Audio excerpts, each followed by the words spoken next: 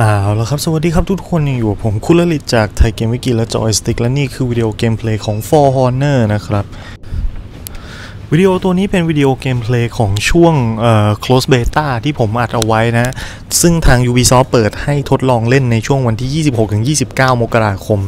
ก็น่าจะเอ่อถ้าวิดีโอตัวนี้อัพขึ้นมาเนี่ย ช่วง beta ก็น่าจะจบลงแล้วนะครับผมอัพวิดีโอ ผมอัดเอาไว้หลายตัวด้วยกันนะฮะ จะทยอยเอามาอัพให้ทุกคนได้ดูกันนะเพื่อที่จะทำความเข้าใจและเตรียมความพร้อมให้กับทุกคนก่อนที่จะเกมจริงจะวางจำหน่ายให้เราเล่นกันในวันที่ 14 กุมภาปีนี้นะครับผมอย่างที่หลายๆ คนอาจจะทราบแล้วผมเคยบอกไว้ในวิดีโอตอนแรกว่านี่คือเกมที่ผมอยากเล่นมากไฮป์มาก ที่สุดเกมหนึ่งของปี 2017 และจากการที่ผมได้ทดลองเล่นมา ผมรู้สึกชอบมากในระดับหนึ่งเลยนะฮะ ชอบชอบมากๆเเนื้อหาโดยรวมของมันคืออะไร มันคือถ้าใครที่ติดตามข่าวการโฆษณาโปรโมตัวเกมมา มันก็คือการต่อสู้กันระหว่าง 3 ฝ่าย สงคราม 3 ฝ่ายนะฮะ ระหว่างอัศวิน ไวกิ้ง แล้วก็ซามูไรนะครับ ตัวเกมมีเนื้อเรื่องที่เราอาจจะยังไม่ได้เปิดเผยมากนะ ก็อาจจะยังไม่ค่อยมีคนรู้เท่าไหร่ว่าไอ้สามฝ่ายนี้ตามประวัติศาสตร์ไม่เคยเจอกันมาก่อน แล้วมันมาสู้กันได้ยังไง แต่อันนั้นถ้าผมมีข้อมูลที่แน่นพอชัดเจนเมื่อไหร่เดี๋ยวจะเอามาเล่าให้ฟัง ตอนนี้เรามาทำความเข้าใจกับระบบของมันกันก่อนสำหรับตัวเกมเพลย์นั้นทุกคนอาจจะเข้าใจนะฮะ ดูเพลินๆว่ามันเป็นเกมดวลดาบนะครับผมแล้วซึ่ง โดยเนื้อแก่นแท้ของมันจริง ๆ core ของมันจริง ๆ มันเป็นเกมดวลดาบนั่นแหละ โดยแต่ว่าเกมที่ gameplay ที่ผมอัดมาเนี่ย น่าจะเป็นเป็นโหมด domination ซึ่งผมเดาว่าน่าจะเป็นโหมดการเล่นหลักที่ทุกคนน่าจะชื่นชอบกันนะฮะระบบช่วงเริ่มต้นของเกมเนี่ย มีโหมดให้เล่นอยู่ 3 โหมดที่เป็น multiplayer คือ 1 เจอ 1 ที่เราเรียกว่าดวลดูเอลนะครับดูเอล 2 เจอ 2 เรียกว่าบรอนะครับ ก็คือฝ่ายตรงข้าม 2 ฝ่ายเรา 2 แล้วเจอกันแล้วไม่มีศัตรูเลย แล้วก็ 4 เจอ 4 ซึ่งเราเรียกว่า domination นะฮะ domination นี่จะเป็นโหมดที่มีตัวลูกสมุนด้วยนะ จะสังเกตว่า เห็นในแมปนะจะมีทหารเลวอยู่ด้วยนะฮะที่เป็นเหมือนกับเป็นบอทเป็น AI บังคับนะครับ ระบบการเล่นของเกมใน domination เป็นยังไง คือใน1แมปเนี่ยจะมีจุดให้เรายึด 3 จุดด้วยกันนะครับ จุด A จุด B จุด C จุด A และจุด C จะเป็นพื้นที่ที่ไม่มีการประทะกันของ AI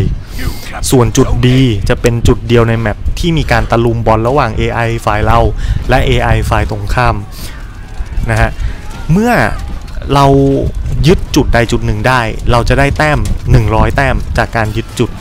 และฝ่ายศัตรูจะเสีย 100 แต้ม ถ้าจุดนั้นเป็นจุดที่เขายึดอยู่ก่อน ถ้าเป็นจุดที่ไม่มีเจ้าของคือเป็นจุดสีขาวเนี่ย ฝ่ายที่ยึดได้ร้อยแต้ม ฝ่าย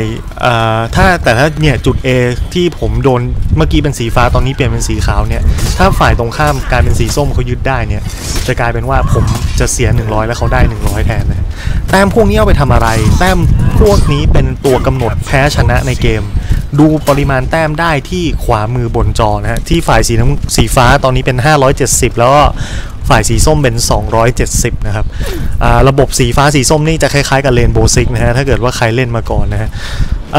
แล้วแพ้ชนะตัดสินกันยังไง ฝ่ายที่ได้แต้ม 1,000 แต้มเป็นฝ่ายแรก จะทำให้ศัตรูหมดสิทธิ์โคต้าในการรีสปอนหมายความว่าเกมนี้เราสามารถที่จะตายได้อิสระตายกี่ครั้งก็ได้นะครับ ไม่มีผลกับการแพ้ชนะ แต่ถ้าแต้มฝ่ายไหนถึง 1,000 เมื่อไหร่ แต้มฝ่ายตรงข้าม ฝ่ายตรงข้ามจะเสียสิทธิ์ในการรีสปอนทันทีนะครับผม แต่ก็ไม่ใช่ว่าฝ่ายที่โดนแซงไป 1,000 แล้วจะไม่มีทางชนะเลยนะฮะ เพราะมันมีการเสียแต้มกันได้ การเสียแต้มก็เกิดจากการที่เราไปยึดพื้นที่คืนมา อย่างที่บอกว่ายึด 1 จุดก็เสีย 100 ยึดได้ 3 จุดก็เสีย 300 นะครับ ถ้าฆ่าฮีโร่ฝ่ายศัตรูก็จะเสียแต้มด้วย เช่นกัน เราก็จะได้แต้มด้วยฝ่ายตรงข้ามก็จะเสียแต้มด้วยเช่นกัน ทีนี้เมื่อฝ่ายที่แต้มถึง 1000 ฝ่ายตรงข้ามหมดสิทธิ์สปอน สิ่งที่ฝ่ายจะชนะกำลังจะชนะต้องทำก็คือขึ้นแท่นรอแล้ว ต้องทำก็คือสังหารฮีโร่ฝ่ายศัตรูหรือผู้เล่นฝ่ายศัตรูซึ่งมีอยู่ 4 คนให้หมดนะครับ ถ้าสังหารหมดเมื่อไหร่ไม่มีการรีสปอนก็จบ เป็นฝ่ายที่ทำได้ก็จะเป็นฝ่ายชนะไป แต่มันก็ไม่ได้ซับซ้อนแค่นั้นก็คืออตัวผู้เล่นที่ถูกสังหารแต่ยังอยู่ในสนามรบสามารถที่จะโดนเพื่อนชุบชีวิตได้ แต่เงื่อนไขการชุบชีวิตก็มีอยู่เช่นกัน ก็คือ ถ้าเราถูกโจมตีรุมฟันตายปกติ เราจะสามารถถูกชุบชีวิตได้นะครับ หลักการนี้ใช้ทั้งออตอน ตอนที่ยังสู้กันอยู่ธรรมดาและตอนแต้ม1,000นะครับเราจะถูกชุบชีวิตได้ ถ้าเราถูกฟันตายปกติ แต่ถ้าเราถูกสังหารด้วยท่า execution หรือโดนตัดหัวนะฮะระหว่างการระหว่างการดวลเราจะไม่สามารถถูกชุบชีวิตได้นะครับ ก็คือถ้าเป็นอันนี้ไม่แน่ใจว่าผมการดวลครั้งนี้ผม execute หรือเปล่า ฟันโดนไหมนี่ผมก็ตะบันฟันเหนือบนอย่างเดียวอันนี้คือ ฟันธรรมดานะครับ ไม่โดน execute แบบนี้ศพของศัตรูสามารถที่จะถูกชุบชีวิตกลับขึ้นมาได้นะครับ แต่ถ้าเกิดว่าเป็น execution แบบนี้ นี่คือค่าค่า execute ถ้าตัดหัวของคลาสของผมนะฮะ ฝ่ายศัตรูจะไม่สามารถมาชุบชีวิตได้ ถ้าเกิดว่าแต้ม 1,000 ตัดจบเลย แต่ถ้าเกิดแต้มไม่ถึงพันก็รอนานมากกว่าเดิม อ่านี่คือแต้มฝ่ายผมถึง 1,000แล้ว จะเห็นว่ามีเมื่อสักครู่มีหน้าจอมีหน้าของฮีโร่4คนขึ้นมา แต่ผมโดนดึงแต้มกลับนะครับทำให้ตอนนี้แต้มกลับมาเหลือแค่ 900 แล้วผมจะต้องปั่นแต้มให้กลับขึ้นไปอีกครั้ง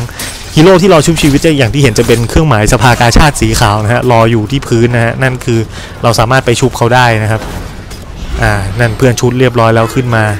อันนี้สังเกตด้านซ้ายล่างของจอ จะเป็นระบบ ความสามารถของตัวละคร ซึ่งในเกมเรียกว่า Face Feast นะครับ อันนี้ผมจะจัดการเจ้าตัวนี้ได้สำเร็จหรือไม่ สับเข้าไปเรียบร้อยไม่ได้ execute นะฮะแต้มผม 1,000 แล้ว แล้วศัตรูฝ่ายตรงข้ามเหลืออีกแค่ 3 คนนะฮะ สังเกตที่ด้านขวาของจอนะฮะ feat เรามาต่อที่ระบบ feat feat คือ skill ซึ่งจะได้เมื่อเราเก็บความสามารถมาถึงระดับหนึ่งความสามแต้มความสามารถ ในเกมเรียกว่า r e n o w นะครับ r e n o w นี่รู้สึกจะเป็นเอ่อเป็นแต้มเงินในเกม Rainbow Six ด้วยนะฮะเมื่อเราเหมือนกับชื่อเสียงนะฮะยิ่งเราสู้ในสนามรบ ยิ่งเราทำผลงานได้ดีเท่าไหร่ ไม่ว่าจะฆ่าตัวมินเนี่ยนตัวเล็ก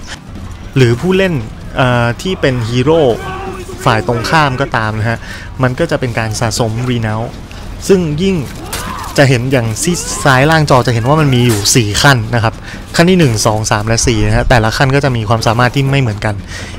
ซึ่งจะแตกต่างกันไปตามตัวละครด้วยนะอันนี้น่าจะอ๋อผมกำลังดวลอยู่ 2 คนอันนี้เป็นเหตุการณ์ 2 ลุม ผมน่าจะไม่รอดหรือเปล่า เอาล่วงนะโดนเขาสับล่วงนี่ตายเลยนะฮะตกจากที่สูงนะเป็นอีกแท็กติกหนึ่งที่มีการใช้กันบ่อยๆนะฮะคือผลักศัตรูตกจากที่สูง หรือตกลงไปในเหว ตกไปในหลุมอะไรอย่างนี้ จะตายเลยแล้ว แต่ผมยัง respawn ได้ เพราะฝ่ายผมแต้มเกิน 1,000 นะครับผม โอเค ภารกิจของเราในกรณีหลังจากที่ผม respawn มานะแต้มทิ้งกันค่อนข้างไกลนะฮะพันสและเจ็ดร้อยแปดร้อยนี่นะครับ ฝ่ายศัตรูเหลือแค่3นะฮะเราต้องรีบจัดการให้หมดและเราจะได้เป็นฝ่ายชนะในเกมนี้ไปนะครับผมเรื่อง skill ความสามารถ feat ของแต่ละตัวละครเนี่ย จะอันนี้ผมเจอกลัวจะเป็น 2 ลุมเลย อะหนีไปก่อนนะฮะ จะอย่างอย่างตัวของผมที่ผมเล่นนี้นะฮะ ขั้นแรกนี่จะเป็นการฮิลจากการฆ่าลูกกระจอกนะครับ ถ้าผมสามารถฆ่าลูกกระจอกได้ ผมจะได้ตัวเขาเรียกว่าอะไรอะฮิลเลือดกลับมานะฮะโอ้อันนี้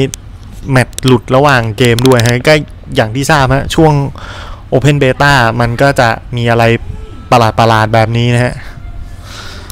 เดี๋ยว ผมกำลังจะหาแมปใหม่แล้วก็อย่างที่เห็นนะฮะ อันนี้คือ Domination จะสังเกตว่านี่เมื่อสักครู่ที่เห็นเป็น World Map นะครับ ก็จะมี 3 สีเลยไวกิ้งจะอยู่ด้านบนนะฮะ คุมพื้นที่ด้านบนแมป เลพิเซนด้วยสีแดงนะครับสีแดงเป็นตัวแทนของไวกิ้งสีเขียวด้านซาด้านขวาเป็นของซามูไรแล้วก็สีเหลืองด้านซ้ายเป็นของอัศวินนะนี่คือหน้าจอเลือกตัวละครก็จะมีฝ่ายละ 3 ตัวที่ให้เลือกได้ในช่วง beta นะครับแถวบนสุด 3 ตัวเป็นของอัศวิน แถวกลางเป็นของไวกิ้งและแถวล่างสุดเป็นของซามูไรที่เรารู้กันแน่นอนในตอนนี้ก็คือว่า จะมีฮีโร่ใหม่มาอีก 6 ตัวนะฮะ ถ้าสำหรับใครที่ซื้อ season pass แต่ไม่ต้องซื้อ season pass ก็ได้เหมือนกันนะฮะ ระบบเดียวกันกับ Rainbow Sixคนที่ซื้อ season pass ก็จะได้ก่อนนะครับ ในขณะที่คนที่ไม่ซื้อก็ต้องเก็บเงินเพื่อปลดล็อกเอา จะมีตัวละครจาก season pass ให้อีก 2 ตัว พร้อมกับอีกหนึ่งตัวละครที่น่าจะมีให้ตั้งแต่เริ่มต้นสำหรับแต่ละฝ่ายอีกหนึ่งตัวนะฮะมันจะมีรอ Lawbringer ของอัศวินมี ของไวกิ้งนี่เป็นตัวอะไรนะ เป็นวาคารี่อ่าแล้วก็ของซามูไรจะเป็นตาอ้วนถือกระบองนะผมจำชื่อไม่ได้ โอเค ไม่เป็นไร เดี๋ยวถ้าเกิดว่ามีเกมเต็มเมื่อไหร่เราจะเอามาให้ดูกันนะฮะพูดถึงสกิลความสามารถของตัวที่ผมใช้เนี่ย ถือว่าเป็นตัวมาตรฐานนะฮะเป็นเป็นเป็นตัวที่ละครที่มีชื่อว่าวอร์เดนฝ่ายหนึ่งเนี่ยจะมีคลาส ที่เปิดเผยมาในตอนเนี้ยในในช่วง beta เนี่ยจะมี 3 คลาส ก็คือเอ่อ Vanguard จะเป็นคลาสเหมือนกับคลาสระดับกลาง Heavy เป็นพวกตีหนักเลือดถึกเลือดเยอะ แล้วก็มี Assassin พวกรวดเร็วว่องไวนะครับผม แต่ละตัวมีสไตล์การเล่นที่แตกต่างกันใน1คลาส และอีกหนึ่งเผ่าอีกเผ่าอื่นๆ ก็จะไม่เหมือนกันด้วย นะครับผมจะมีอย่างที่ผมลองดูอัศวินจะเป็นแนวสมดุลนะครับ ส่วนตัวไวกิ้งนี่จะเน้นสปันนะครับ แล้วก็ตัวซามูไรเนี่ยจะหนักไปทางเคาน์เตอร์ครับผมอันนี้หลังจากถูกเตะออกมาจากแมนนะฮะ เดี๋ยวผมจะพาไปดู การสร้างสัญลักษณ์ตราสัญลักษณ์นะฮะอย่างที่เห็นว่าอันนี้คือตราสัญลักษณ์ของผมใช้พื้นขาวเรียบๆนะฮะแต่เราสามารถที่จะเลือกสีเลือกสัญลักษณ์ตารูปแบบต่างๆนะฮะใส่สีตามที่เราต้องการได้นะฮะซึ่งของพวกนี้จะปลดล็อกตามเลเวลนะครับ ยิ่งเล่นไปเยอะ ยิ่งเล่นไปนาน ก็จะยิ่งมีรูปแบบให้เราเลือกมากขึ้นนะฮะ อันนี้คือตาสัญลักษณ์ที่ผมลองทำเอาไว้เล่นๆนะครับ จะสังเกตอันนี้คือเลือกโลโก้มันนะฮะ เลือกตราของมัน ผมรู้สึกจะเลือกเป็นรูปสิงห์นะครับ เลือกสีนะครับของตัวตราได้ แล้วก็สามารถที่จะกลับหน้ากลับหลัง หรือว่าทำเป็น layer ซ้อน 2 อันทับกันได้นะฮะหลายทำได้ถึง 5 ชั้นนะฮะ ซ้อนกันได้ถึง 5 ชั้นนะ S1 ถึง S5 นะครับ แล้วมาดู transform ทางการ transform คือย่อขนาดขยายขนาด กลับบนกลับล่างพลิกซ้ายพลิกขวานะครับ อย่างที่ผมเห็นนี่ผมทำสิ่งเป็นตัวใหญ่อ่ากลับบนกลับล่างพลิกซ้ายพลิกขวาดูนะครับ แล้วก็เลื่อนขยับตำแหน่งได้ด้วยนะครับผมแล้วเดี๋ยวผมจะย่อเอาไว้ให้ขนาดมัน ผมจะทำลายไอเนี่ย สิงโตสองตัวหันหน้าเข้าหากัน ซึ่งตอนนั้นก็ไม่รู้อะไรเป็นแรงบันดาลใจนะ ว่าแบบทำไมถึงอยากจะทำเป็นลายสิงสองตัวนะฮะแต่ก็ทำออกมาแล้วก็สวยดีนะฮะน่ารักดี อันนี้กำลังเลือกขนาดอยู่ปรับให้มันพอดีกับตัว ตัวขอบโล่ของเรานะจริง ๆ ขอบโล่นี่สามารถเลือกได้สารพัดแบบนะ มีเป็นตรานู่นนี่เยอะแยะเลือกได้ทั้งวัสดุทั้งอะไรแบบซับซ้อนมากนะฮะหลายอย่าง อันนี้ก็จะเลือกสีของตัวสิงห์อ่าอันนี้ปรับขนาดก่อนให้มันขนาดมันพอดีกันนะฮะ ตัวซ้ายกับตัวขวาให้ใหญ่พอกัน อ่า นี่ได้แล้ว สิงตัวนี้ผมใช้สีเหลืองฮะ สิงเหลืองและสิงแดง เสร็จแล้วก็มาเลือกแบ็กกราว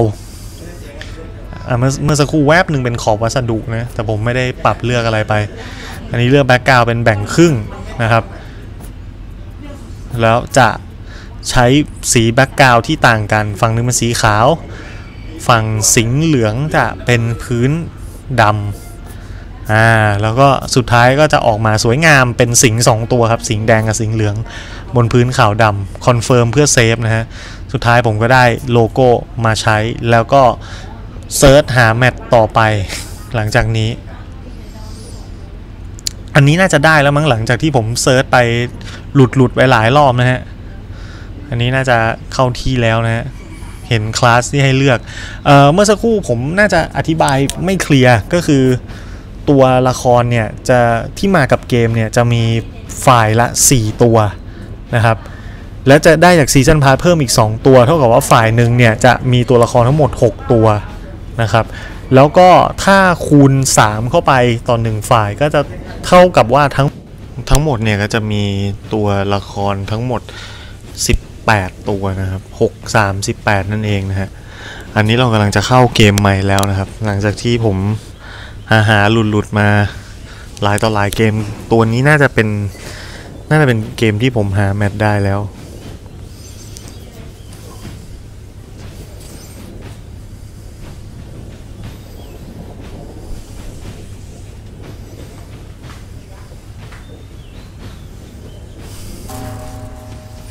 อ่าจอยห้องเข้ามาเป็นระหว่างแมตช์ครับ สังเกตว่าแต้มของฝ่ายสีน้ำเงินของผมตามอยู่นะฮะ 250 กว่าแต้มนะครับ กับฝ่ายสีส้มซึ่งนำไป 570 กว่าแต้ม เริ่มขึ้นมาผมวิ่งเข้าหาศัตรูเลย เป็นซามูไรนะฮะ เรียบร้อย ช็อตนี้ได้ execute เอ่อสังเกตหน้าจอเวลาเราใช้สตามิน่าจนหมดนะฮะ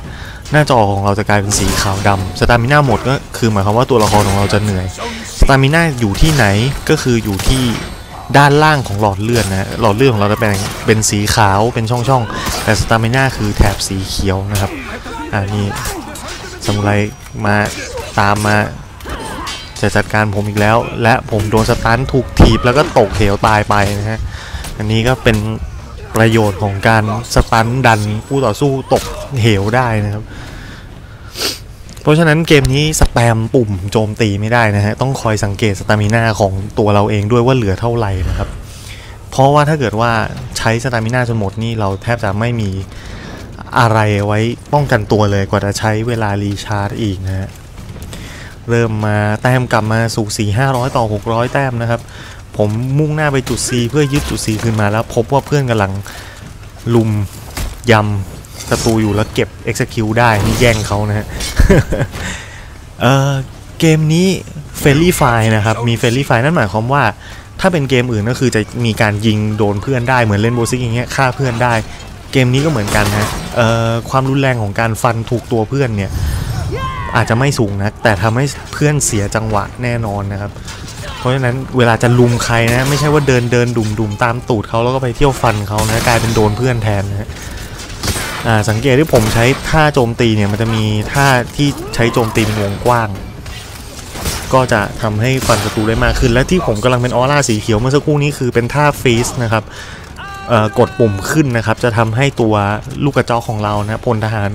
ที่อยู่ในรัศมีสีเขียวนั้นทำการโจมตีได้ดียิ่งขึ้น นี่ผมพบผู้เล่นฝ่ายตรงข้ามอยู่คนหนึ่งอยู่คนเดียวและกำลังโดนทั้งบอทและผู้เล่นอีกคนหนึ่งลุม และผมตามเข้ามาลุมสกรรมจัดการเขาไปได้นะแต้มผมพลิกกลับมานำแล้วนะฮะ700กับ600แต้มนะครับ โซนเรายึดได้ การยึดโซนได้นี่สำคัญมาก เพราะเป็นการตัดแต้มศัตรูแล้วมาเพิ่มแต้มของเราด้วยนะครับถ้าฟันกวาดครับ ถ้าฟันกวาดนี่ฟันต่อเนื่องไม่ได้นะ ฟันแค่ครั้งสองครั้งก็สตามิน่าจะหมดแล้วนะครับ อันนี้เคลียร์พื้นที่ให้โซน B นี้เป็นของเรา ทุกครั้งที่ฟันศัตรูตายจะเห็นว่าเรามีออร่าสีเขียวขึ้นที่ตัวนั่นคือเป็นเป็นฟีด เฉพาะของคลาสนี้และนี่ครับตลกมากต่อยศัตรูล่วงตกลงไปตายได้นะฮะอันนี้เวลาเจอกันระหว่างปีนกำแพงเมือง ก็สามารถที่จะตบศัตรูคู่ต่อสู้ฝั่งตรงข้าม ผมไม่แน่ใจว่า ถ้าผมอยู่ข้างบนเนี่ยจะตีเขาได้อ่าไล่เก็บกวาดพื้นที่แต้มของเรายังนำอยู่เล็กน้อยนะครับ จะเห็นว่าพื้น เป็นเขตสีฟ้าแล้วนะก็คือเราสามารถที่จะดันตัวมินเนี่ยนศัตรูนะตัวคลีปก็ได้ ไปของศัตรูไปจนสุด เราสามารถยึดพื้นที่ได้ อันนี้เขากำลังตีกันอยู่ฝั่งสีส้มวิ่งอ้อมไปมีคนมาช่วย โอ้เกิดการตะลุมบอลกันครั้งใหญ่ 3 ต่อ 2 ผมเรียก feat ครับ ที่จะเป็นการส่ง catapult มาลงระเบิดลงไปตายคู่ 2 คนเลยนะเก็บได้อย่างงดงามครับในช็อตนี้ เห็นจะเห็นว่า feat มีประโยชน์หลากหลายมากนะครับ ใช้ได้ในหลายสถานการณ์แล้วก็อย่าง feat ที่ผมพร้อมใช้ตอนนี้ที่ขึ้นเป็นสีเหลืองอยู่ที่ด้านจอซ้ายที่เป็นรูปพยาบาลก็คือเมื่อใช้เอ่อเราจะได้คิวเลือดอ่าตอนนี้ผมโดนเขาฟันตายไปเรียบร้อยนะฮะ แต่ว่าผมยังสามารถรีสปอนได้อยู่นะฮะแต้มของผมฝ่ายทีมของผมนะฮะอ่ากำลังจะขึ้นแทนแล้วถือว่าเบียดกันสูสีนะฮะ800เท่าเท่าๆกันนะครับผมตอนนี้เราต้องรีบยึดพื้นที่คืนมานะ จะเห็นว่า A กับ B นะฮะกลายเป็นสีส้ม มีแต่ C ที่เป็นสีฟ้าของเรานะฮะมาผมมาถึงก็ใช้ท่ากวาดครับฟันกวาดแบบนี้จะเปลือง stamina นะฮะใช้ต่อเนื่องไม่ค่อยได้นะฮะ ใช้ได้แค่ไม่กี่ครั้งเราก็จะหอบแล้วนะเหนื่อยนะฮะแต่ว่าพวก